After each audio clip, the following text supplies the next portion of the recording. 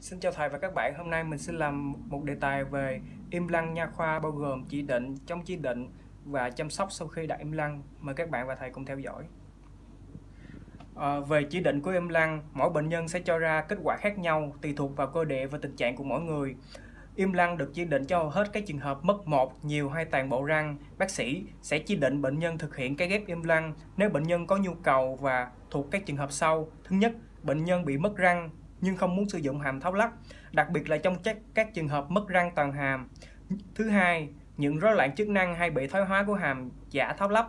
Thứ ba, bệnh nhân muốn tăng ổn định bền vững cho hàm tháo lắp. Thứ tư, bệnh nhân không muốn thực hiện cầu răng vì bị mài các răng thật bên cạnh. Thứ năm, trường hợp răng thật làm chủ không đủ mạnh khỏe để làm chủ cầu. Thứ sáu, trường hợp bệnh nhân muốn bảo tồn xương hàm khi bị mất răng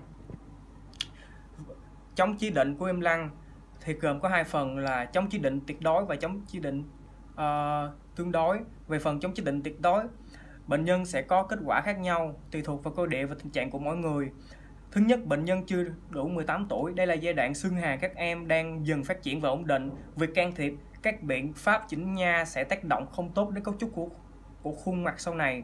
Thứ hai, bệnh nhân đang mang thai bởi cái ghép im lăng bệnh nhân sẽ được chỉ định một số loại thuốc chúng sẽ ảnh hưởng không tốt đến thai nhi. Thứ ba, bệnh nhân bị dị dạng xương hàm nghiêm trọng không thể phục hồi được.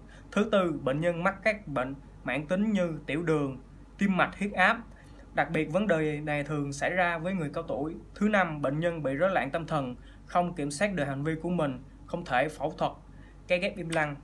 Thứ sáu, bệnh nhân mắc các bệnh không thể kiểm soát như là đái tháo đường không kiểm soát, thiểu năng tiếng im, bệnh ờ, Baguette, Thứ bảy, bệnh nhân nghiện rượu nặng.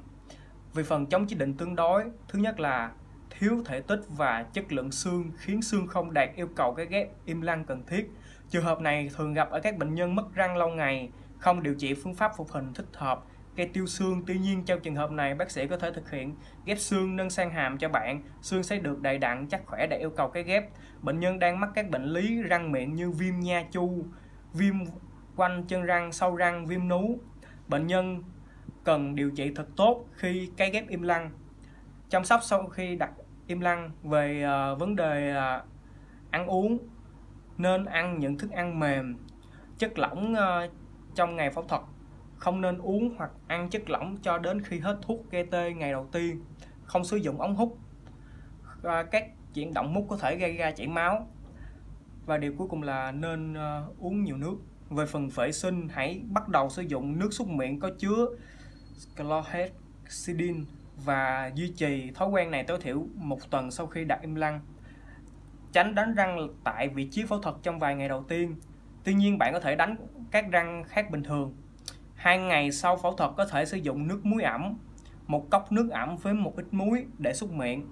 Hoạt động cố gắng không làm khu vực vừa phẫu thuật bằng lưỡi và ngón tay tránh tập thể dục vất vả trong 48 giờ đầu tiên ví dụ chạy hay là tập thể dục.